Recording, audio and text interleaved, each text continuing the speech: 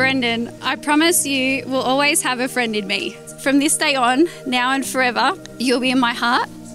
I promise all of these things, and when I make a promise, I never break it. From the bottom of my heart, always. I thought this was going to be the most difficult thing I ever had to do. But earlier, when I saw you at the park for our first look photos, I had nothing to worry about, and this was going to be simple. Love is putting someone else's needs before yours, so my dreams are your dreams, and I'll build it all around you.